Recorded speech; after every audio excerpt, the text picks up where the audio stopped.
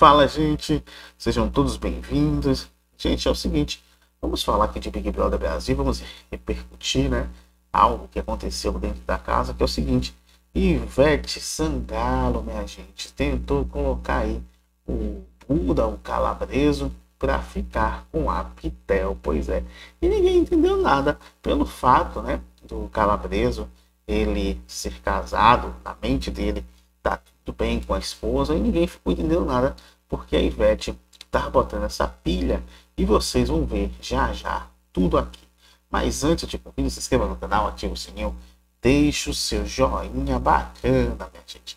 É o seguinte, a Ivete Sangalo, ela ali, né, entrou num confessionário, vou mostrar já já aqui um trechinho para vocês conferirem. A Ivete Sangalo, ela entrou no confessionário, podem que ela sabonetou. A galera começou a falar assim, Ivete, quem você coloca no paredão?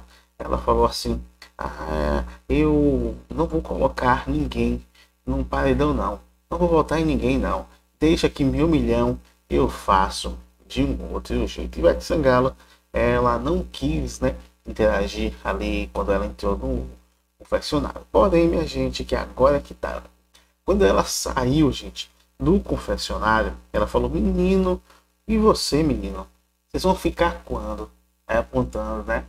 Para o calabreso e ali tava a Pitel. Vocês vão ficar quando? Aí ele, oxe, eu sou casado, velho.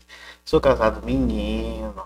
Ô salve, Veta. Aproveite, viu? Senão você pode se arrepender. E tem uma galera, minha gente.